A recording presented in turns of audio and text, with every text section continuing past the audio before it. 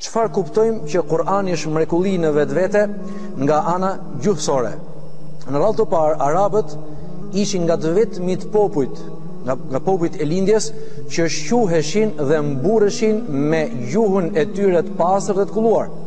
Kishin një gjuhë tepër të pastër dhe një gjuhë tepër të kullut, dhe çfarë ndodhi? Kur erdhi pejgamberi alejhi salatu ue selam, erdhi me një fjalë hyjnore që ai thonte se ishte fjala e Allahut xhelle xhelalu.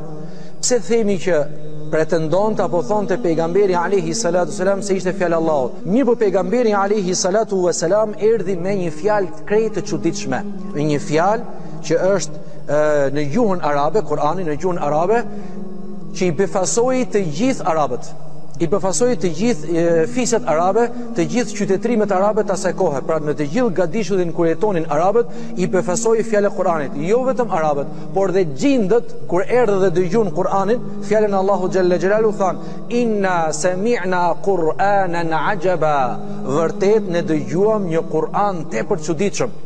Domethënë një fjalë e çuditshme që ne s'e kemi dëgjuar më përpara.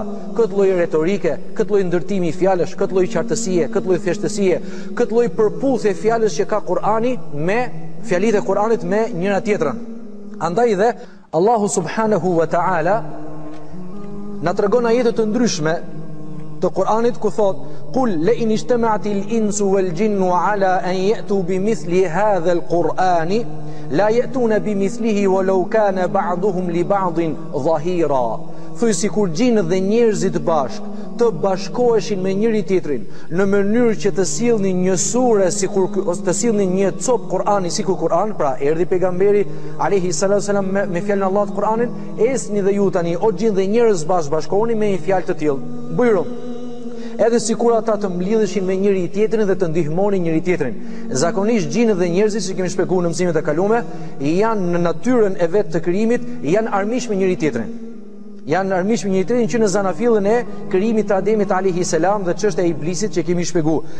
Mirëpo, Allahu xhelle xhelalu thotë, edhe sikur ju të pajtoheni dhe të mundoheni tashti me njëri tjetrin bashkoheni të vini me një Kur'an ashtu sikur erdhi pejgamberi alayhi salatu wasalam, kurrë nuk do të mundeni.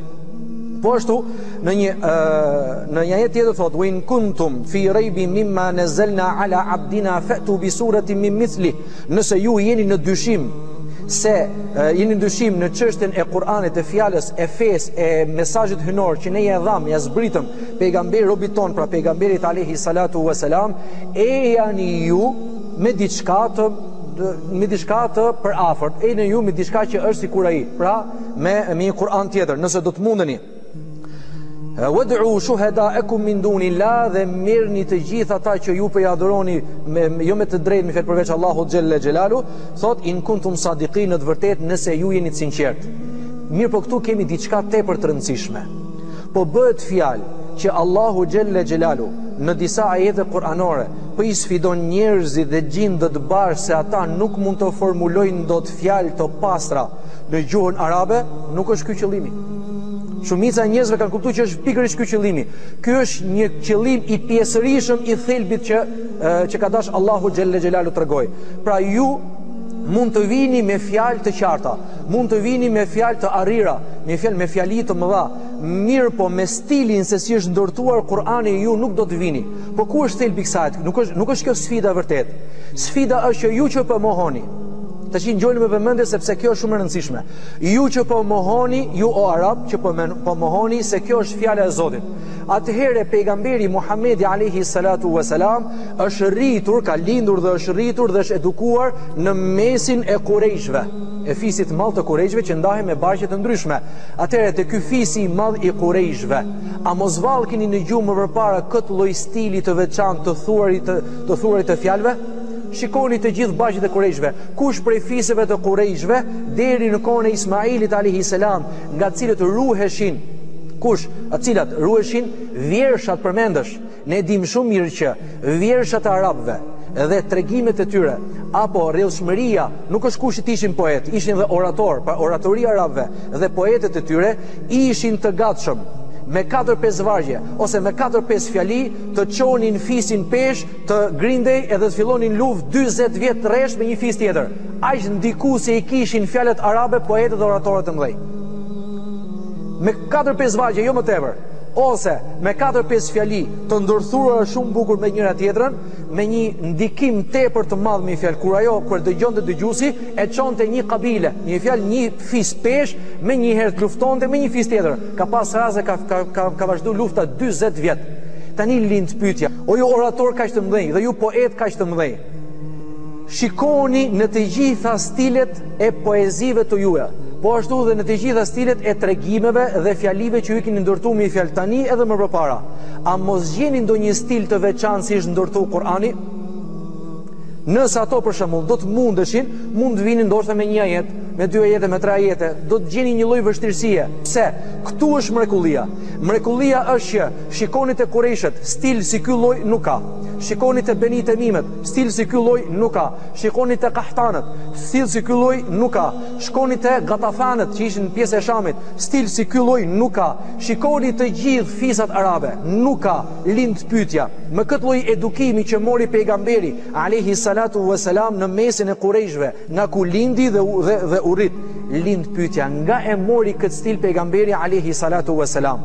Do thoshti i mori të gjitha poemat, poezitë arabe dhe nxori diçka të veçantë. Nuk ka mundësi, sepse kur ti të marrësh katër pesë lloje poezish për shembull, edhe t'i përzish bashkë dhe të nxjerrësh një të gjashtë nga ana jote, në analizën e fjalive do duket që po, kjo është një punë shumë e mirë, shumë e bukur, shumë e madhe, që arriti ta bëjë filani, mirëpo po të shikosh me vëmendje, filan stil e ka marrë nga Benu Temimet, filan stil e ka marrë nga Kahtanët, filan stil e ka marrë nga Gatafanët, filan stil e ka marrë nga i fisi tjetër atje, edhe së fundi ka dalë ky me një stil të veçantë, masi është ndiku nga fiset e tjera.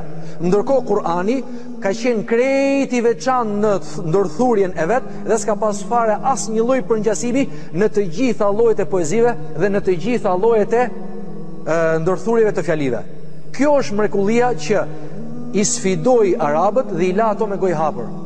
Hajt të shikojmë me vëmendje. Kjo është dhe kuptimi i ajetit ku Allahu xhelle xhelalu thotë: "Ju o njerëz, me aq memorie sa keni ju, merrini dhe xhindët, që xhindët kanë mundësi të shkojnë për një për, një, për disa momente shumë të shkurtra nga kurejshët në Mekë, të shkojnë menjëherë në Jemen." Edhe të kontrollojnë nëpër fiset e Jemenit, nëpër poezitë e Jemenit, nëpër tregimet e tyre, a kanë mundësi që të gjejë një stil si ashtu sikur ka ardhur Kurani? Nuk ka.